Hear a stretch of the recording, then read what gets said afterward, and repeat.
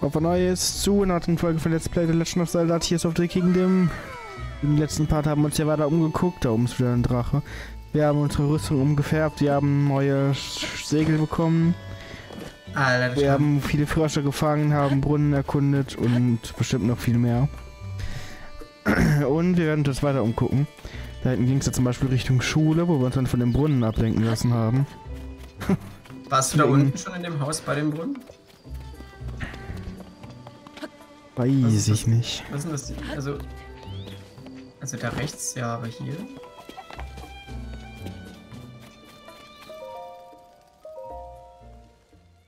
Oh, der wird's wieder zu spät, meinst du? Ja, das Kind hat gesagt, er hat nach Hause, also wird's wieder morgens jetzt. das Kind hat es gesagt. Und ich sage, ihr sollt diesen Kanal abonnieren, wenn ihr das noch nicht gemacht habt. Bitte macht das. Wäre sehr gut. Lasst das bitte. Oh nein. Sagt er, lass nicht verpassen. Nein. Äh. Das ist ein Ei. Also bitte abonniert. Das ist wäre sehr gut. Also kostet ja auch nichts. Wäre schon krass. Das Bald gibt's jetzt vielleicht so ein krasses neues Feature bei uns. So, weißt du was? Ist mir jetzt egal. Wie machen wir es jetzt mit der Amiibo? Ich will jetzt eine Amiibo ausprobieren. Das war doch eigentlich ja hier. Welche wollen wir nehmen? Ja, leg erstmal. Link, aktiviere dich. Link ist ja auch die erste, die es gab.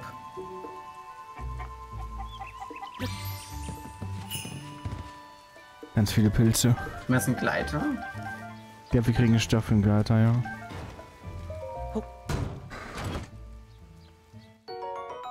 Ein Ritterschwert. Wow. Was, wenn ich das nochmal mache?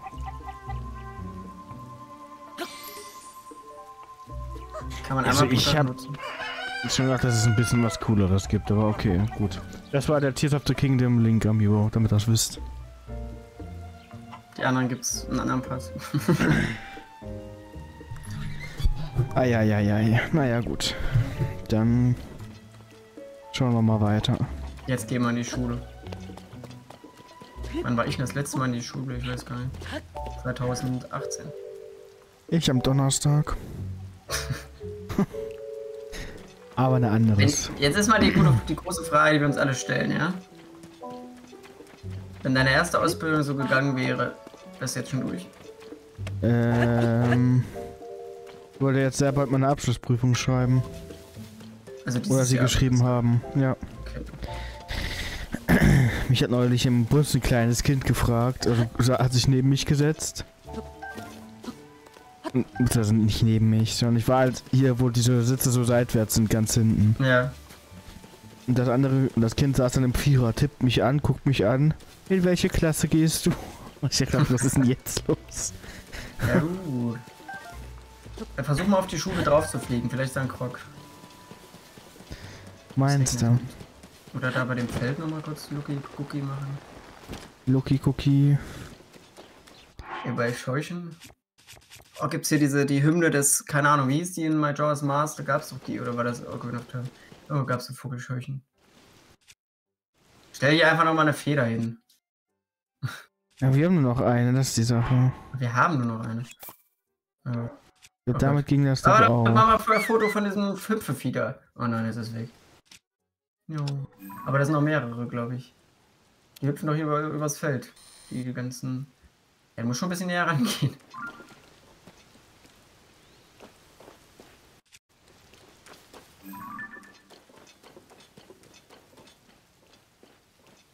Ja, wenn ich sagen, dass das das einzige Insekt war, was jetzt hier so rumgejumpt Oh, anscheinend schon. Das war der, deine Intention? Ist das jetzt einsammeln? Alter, die Glocke läuten wollte Jan doch. Ja, das wäre krass gewesen.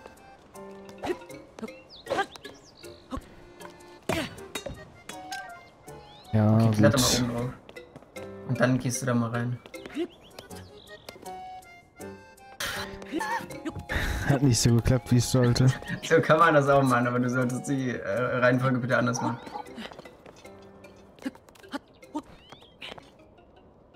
Sonst kann da das ja Kein Kroggy für uns. Das ist lächerlich. Na gut, jetzt gucken wir mal rein. Hallo? Der neue Lehrer ist da. Da steht, da ist ein Buch. Kannst du lesen. Willst du ein Buch lesen?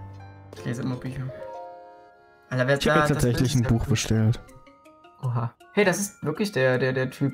Ich glaube, das war der aus, äh, sobald der diese Quest mit den Fotos gemacht hat. Ein kleiner Asta, Meadows Tochter, ist ein sehr aktives Mädchen. Nicht attraktiv aktiv, ja. Meadow soll Ja. aber für die Frisur diesen charmanten Bob verantwortlich sein. Oh. Asta scheint ihren Vater sehr lieb zu haben und erzählt auch regelmäßig, wie es dessen Tag abläuft. Denke ich an Asta aus. Okay, nein. In letzter Zeit höre ich von ihr viel über die Hyrule Hyrule Thomas, die Meadow gerade anbot. Als Sagono das Haus neben dem Kleidergeschäft gebaut hat, kam mir erst ein wenig traurig vor. Das hielt aber nicht lange an. Schon bald war sie wieder froh und aufgeweckt wie sonst auch. Es ist süß und bunt, hat sie gesagt. Das ist nicht weit von Früchleins Haus. Sie ist immer sehr positiv gestimmt, kann jedem etwas Gutes abgewinnen. Ja, der hat ja wirklich die beiden Farben wie wir. Das Gelb ist aber random, oder? Äh, wel- welche, du meinst die Ärmel? Mhm. Weiß nicht, ob das wirklich gelb ist oder ob es gerade hier irgendwie äh, Dings ist. Das Licht, müssen wir draußen nochmal gucken. Jetzt ich zerstöre hier nicht meinen. Das passt. Die kleine Karin ist die Tochter des Bürgermeisters. Sie ist schüchtern und gutmütig. Hat nicht viel Selbstvertrauen und redet auch nicht viel. Jetzt denke ich an die Käsekarin aus unserem Ort, die kleine Karin. Aber sie versteht es gut, Sachen auf den Grund zu gehen. Aber Prinzessin, ich denke, es ist bekannt, dass Bürgermeister Riedner heimlich Gemüse für die Jugend züchtet. Aber Karin war die erste, die bemerkt hat, dass die jüngere Generation das Interesse an Gemüse verloren hatte. Siehst du, das Sie hat wollen- Karin gemerkt! Und deswegen hat sie das alles aufgebaut. Wenn jetzt irgendwas von Käse kommt, dann bin ich aber weg. Das hat sie an der Zahl der Kunden erkannt. Und auch darin, dass die Ware, die Laden, Mann, dass im Laden immer so viel Ware verfügbar war. Eines Tages wird sie vielleicht eine Gelehrte wie Pura werden oder diese so übertreffen. Dazu ist der Bruder von Effi vom Krämerladen, aber seine wahre Identität ist super, also Schützer der Gerechtigkeit. Bitte was? Er verbrachte immer viel Zeit mit Sefaro. Doch da in der Färberei nun immer so viel zu tun ist, hat dieser keine Zeit mehr. Daher scheint Super also nur nach der Schule allein herumzustreifen. Seine Mutter Amira mag viel tratschen, doch er selbst hat immer ein Auge für andere Belohnungen. Sein Streben nach Recht und Ordnung mutete im ersten Moment wie ein Kinderspiel an. Aber solange Super Asu da ist, glaube ich nicht, dass sie Nati nur irgendwelche Schurken blicken lassen werden.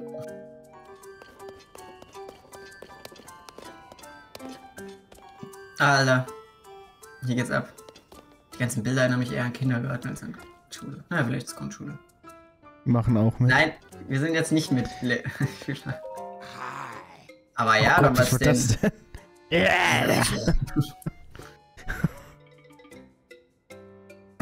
Aber ja, doch, was ist denn? Ach, du bist Link. Wir haben uns seit Ewigkeiten nicht mehr. Link, du bist zurück. Oh, äh, äh, verzeih meinen Überschwang. Ganz, ganz offensichtlich bist du's. Und das hieß dann wohl das Prinzessin Zelda? Nein, die ist nicht zurück. Die ist immer noch auf Streife. Auf Streife fährt jetzt bei. Ja, ich hatte schon befürchtet, äh, dass ich dich allein hier sah. Naja, als die Prinzessin weiterhin, äh, also ist die Prinzessin weiterhin wie vom Erdboden verschluckt. Wusstest du, dass diese Schule, äh, hier auf Ge von Prinzessin Zelda erbaut worden ist? Ja, wissen wir, haben wir gelesen. Die Kinder liegen ihr so sehr am Herzen. Äh, sie würden bestimmt als allerbester hier, äh, was? Sie würde bestimmt als allererstes hier vorbeischauen, wenn sie wieder auftaucht. Ich unterrichte derzeit Geschichte, ein Fach, das die Prinzessin sehr am Herzen lag. Nächstes Thema ist die Verheerung.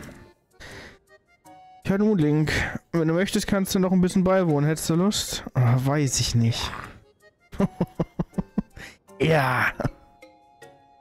Na, dann ist wohl an der Zeit für unseren äh, Geschichtsunterricht. Wisst, äh, wie ihr wisst, ist Hyrules Geschichte stark geprägt von einem sogenannten, äh, von der sogenannten Verheerung. Tatsächlich ist sie, ich hätte es besser gefunden, wenn er jetzt irgendwie von dem, ach so, doch, das ist es ja sogar von der Verheerung Ganon. Ja gut, dann vergiss das.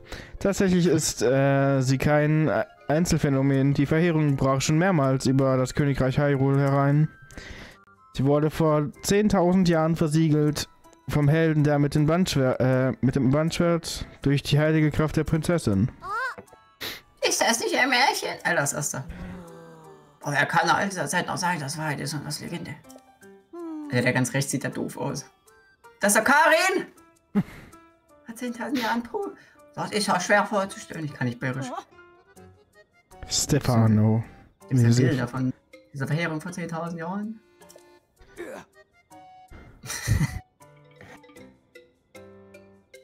Ach, das war jetzt der Lehrer wieder, ne?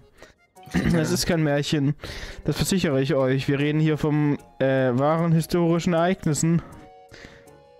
Oh je, ich müsste den Kindern wirklich einen Beweis der Verheerung von 10.000 Jahren zeigen, sonst glauben sie mir nie. Die haben ja nicht mal Tische. Und dann hätte der ganze Unterricht keinen Wert. Verzeiht mir, Link. Äh, hätte ich geahnt, dass die Stunde so verlaufen würde, hätte ich mir die Mühe erspart, äh, uns zu besuchen. Ich wünschte, ich hätte mehr Weitblick gehabt und äh, das Gemälde der Verheerung auf Impas aus Impas Haus geliehen. Oh nein. Lass mal fotografieren. Kakariko im Nordwesten. Ja, das machen wir später, gut. Ja, guck mal, guck mal kurz auf die Karte, dann sehen wir, wo Kakariko liegt.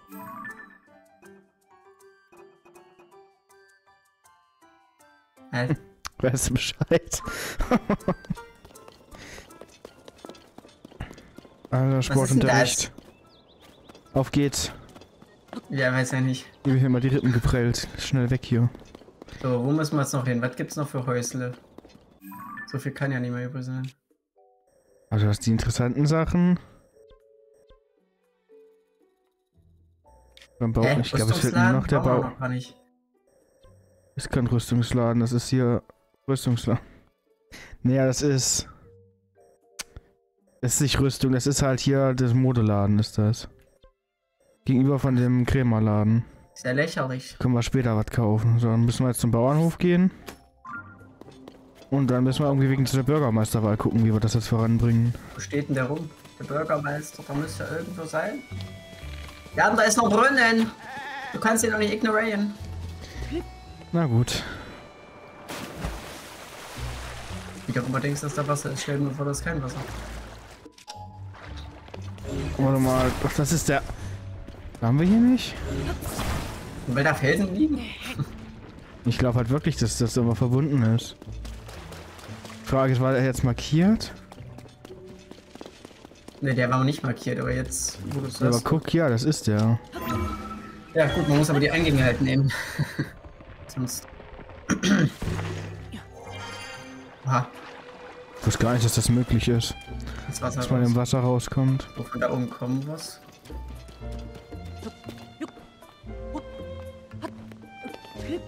Ja, dann fehlt aber ein Haus, weil der Bürgermeister, das Haus haben wir wohl noch nicht betreten. Ja, zu dem müssen wir jetzt wahrscheinlich eh gleich hin und dann sagen, ey, wir sind auf deiner Seite und dann geht's wahrscheinlich weiter. Oh, Entenfotos. Gab's schon. Mann, aber Enten. Nicht Elten? Was bist du für ein Mensch? Der Fisch ist auch tot. Alter, der röst Karpfen. Hat sich doch gelohnt. Weiß ich nicht. Oh, hier in dem Hotel haben wir auch noch nicht, glaube ich.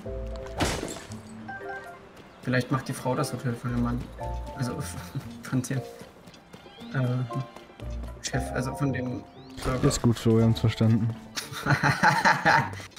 du musst das doch mal ausführen. Ist ja ein sehr leeres Hotel. Gut. Da ist noch ein Zimmer. Topdeckel? Nee. Der Topdeckel. Okay, dann nicht. Ja, irgendein Haus muss man auf jeden Fall noch irgendwann diesen übersehen haben. Ach, ach, das war Taco. Der Arzt, der sein würde. Dabei hat er doch früher immer auf mich gehört, also bevor wir verheiratet waren. Könnte er denn nicht wenigstens einen Hut von Sagono oder sowas tragen? Ich verstehe nicht, warum man das so geht. Kann ich helfen? Ach, keine Zeit für Selbstgespräche, ich muss doch arbeiten. Oh, vielleicht ist die Mutter für, für sie und der andere ist für den Bürgermeister. Hallo, das wird, das wird wieder schön.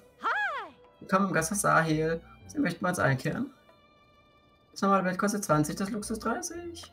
Hm? Ja, wie lange möchte sie? Gut. Natürlich wieder Luxus. Wie der Blut immer wackelte.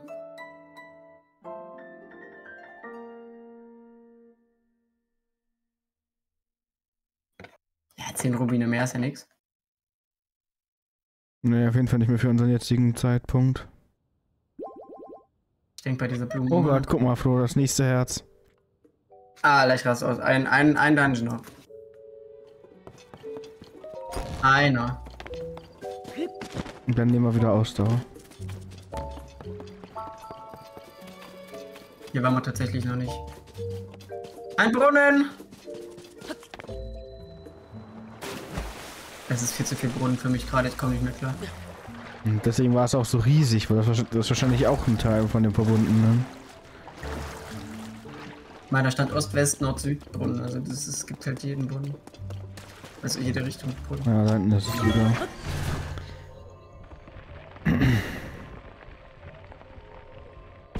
Hast schon eine zerstörte Wand gesehen.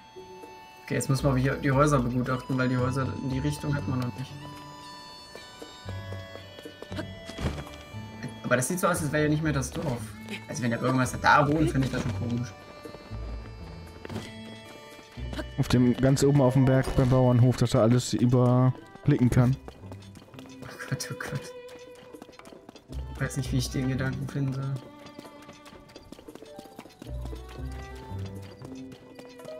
So. Oh, ein Buch.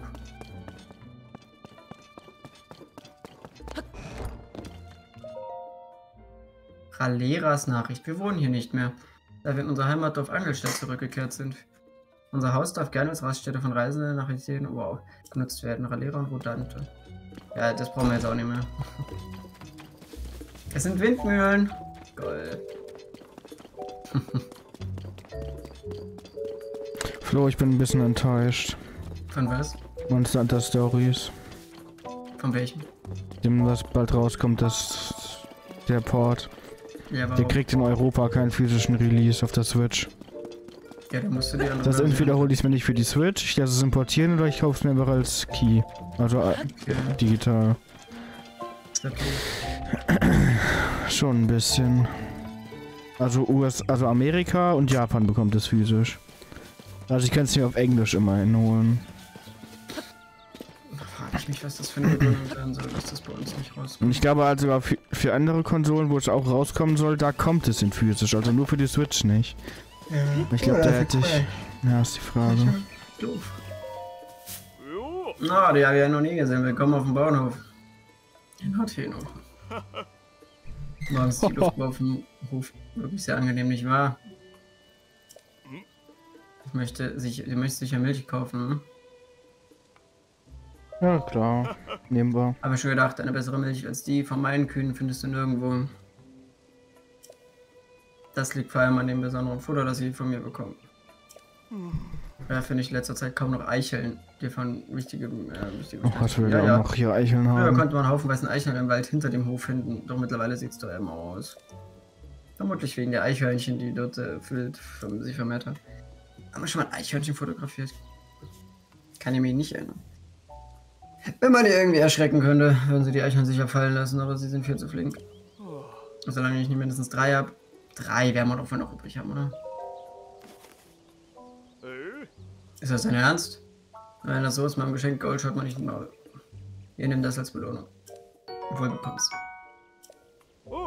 Ah, diese eine Portion hatte ich eigentlich für einen besonderen Anlass aufgehoben. Schätze mal, das hier ist einer. Also gut, dann werde ich mit, mit den Eicheln wohl meine Kühen so schnell ein neues Futter mischen. Schau ruhig immer wieder vorbei, wenn du Milch brauchst. Milch brauchst. Für drei gebe ich dir wieder. Welche? Geschafft. Du Danz. Alter, das ist eine krasse Kuh. Kann man die auch fotografieren? Alter. Ja, da sind da. Landschaf.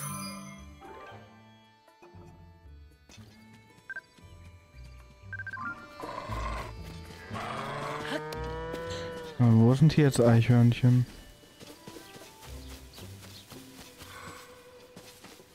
Zählt das als Wald? In dem Wald hinter mir, hat Da, er da, da. gesagt. Foto, Foto. Stand da. Frechhörnchen.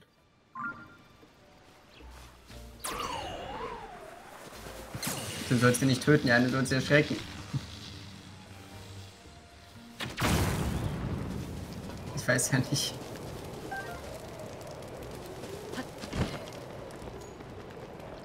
Müssen wir nochmal zurück. Wir haben noch nicht das Haus vom Bürgermeister gefunden. Ja, erst mal kennen wir aber auch die Quest und dann sollten wir es erfinden.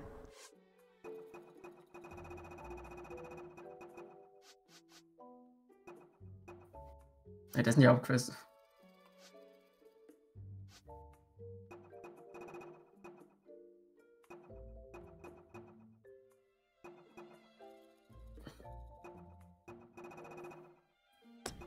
Äh. Das ist keine richtige Quest. Stimmt schon. Aber Also schon, aber halt keine, wo man eine Markierung bekommt. ist vielleicht noch gar nicht so richtig begonnen.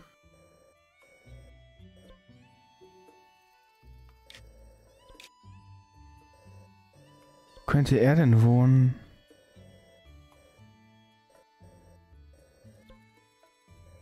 Sonst waren wir jetzt überall.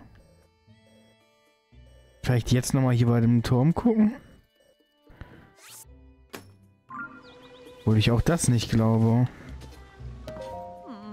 Was soll ich nur? Springe ich einfach in den Teich? Nein, der ist so viel zu tief und ich kann doch nicht viel. Ach, wieso siehst du mich so an? Bist du ein Kunde?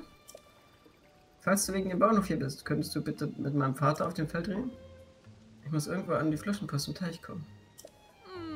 Da ist nämlich ein Brief von meinem Urgroßvater drin, allerdings komme ich dran, weil meine Arme zu kurz sind und ich auch gar nicht schwimmen kann. Briefe sollten einen Hinweis darauf geben, wie man den Bauernhof neu beleben kann. Nicht zu fassen, dass er nur im Teich liegt.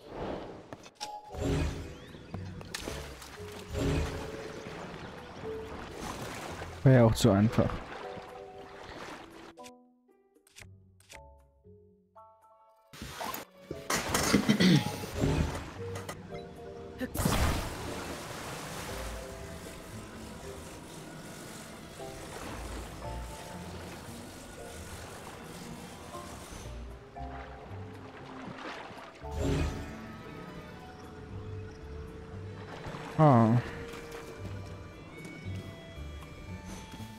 Fälle einen Baum und schmeißt diesen Baum in den See rein.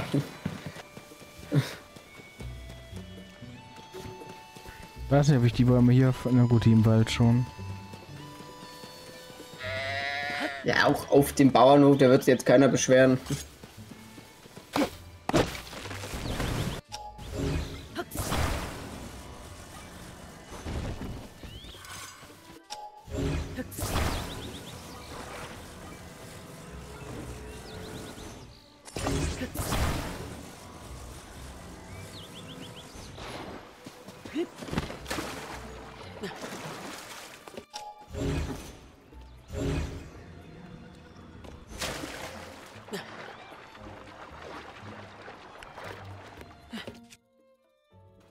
Du nicht nur Krockwedel?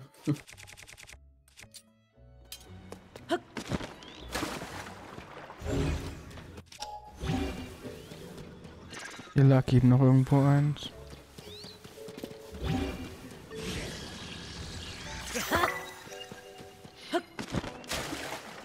Oder ein Ventilator, keine Ahnung.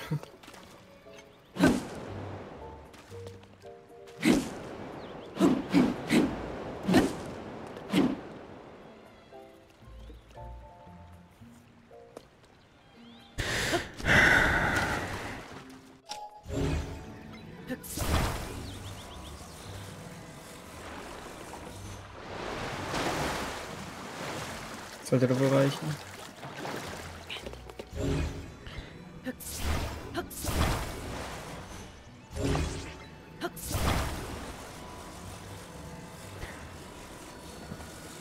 Raus damit.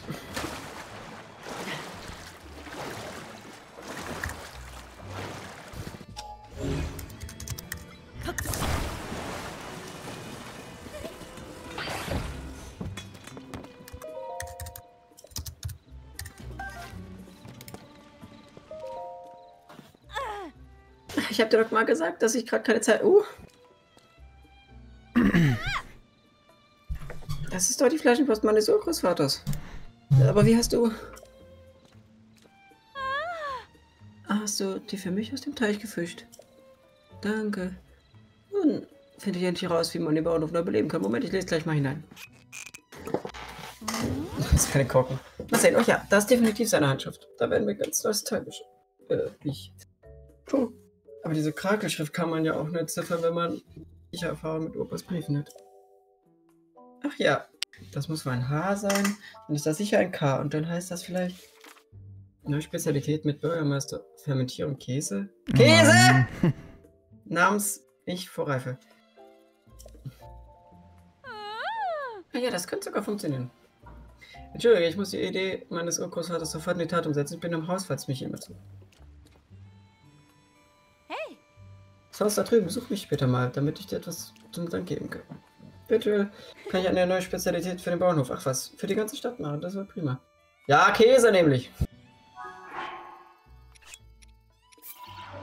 Direkt da rein. Ich weiß das übrigens auch, wo der Bürgermeister ist, da gehen wir auch gleich hin. Da, da haben wir gegoogelt. Ja, es ist ein Haus. Und da waren wir noch nicht drin, wie es aussieht. Oder er war da nicht da, keine Ahnung. Ah, hallo, schön, dass du gekommen bist. Hier, sieh dir das mal an.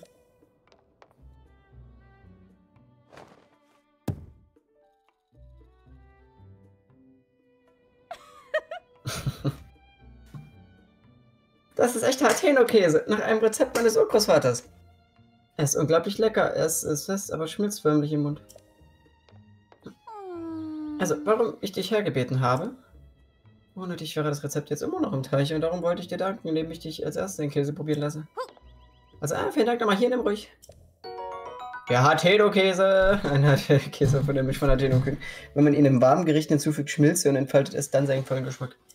Ja. Krass. Offenbar hat jemand Großvater das Rezept für Hateno-Käse zusammen mit dem damaligen Bürgermeister entwickelt. Das war für unser Dorf gedacht. Aber die Leute wussten nichts damit anzufangen. Sie waren wohl doch nicht so weit. Nachdem ich den Käse erst probiert habe, bin ich mir sicher, dass die Zeit reif ist. Er wird die Welt im Sturm erobern. Ja, deswegen ist Kojen falsch geschrieben, da müsste Karin stehen. Die haben die Namen verwechselt. Naja. In letzter Zeit haben die Leute ihr Geld eher für Mode ausgegeben. Sie hatten spürbar weniger Kundschaft. Aber dem Käse könnte sich das Blatt nur wenden. Vielleicht merken die Leute, dass auch gutes Essen sein wird. Äh, gilt es? sein Wert gilt es, genau. So, und ich werde hier erstmal etwas umbauen. So, das hier, nein, da drüben passt besser. Äh, so müsste es doch gehen.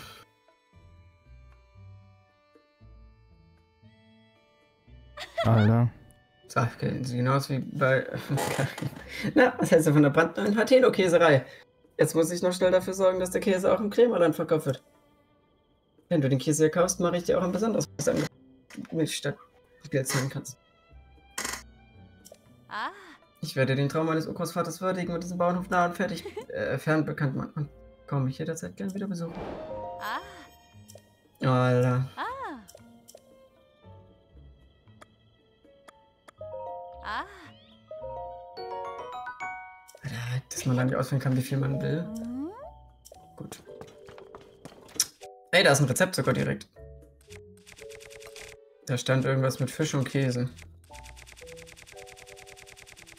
Was versuchst du?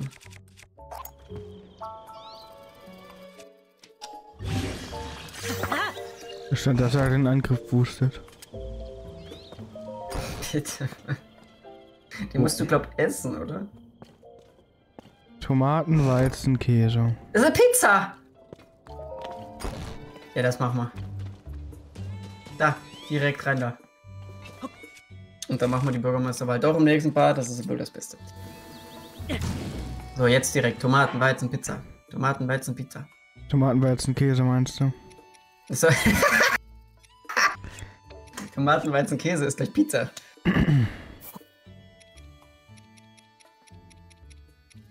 Da ist der Weizen. Welcher war denn das jetzt? Achso, das ist Reis. Rinder! Tomatenpizza, eine mit frischen Hyrule-Tomaten belegte Pizza. Der geschmolzene Hateno-Käse macht sie unwiderstehlich. Tja, und ihr werdet unwiderstehlich, wenn ihr den Like da lassen würdet und den Abo für dieses Format. Ich kann kein Deutsch mehr. Und in der nächsten Folge schauen wir mal, wer hier Bürgermeister wird oder was wird passieren. Das sollt ihr auf jeden Fall nicht verpassen. Und Like da lassen. Also bis zum nächsten Mal. Tschüss. Tschüss.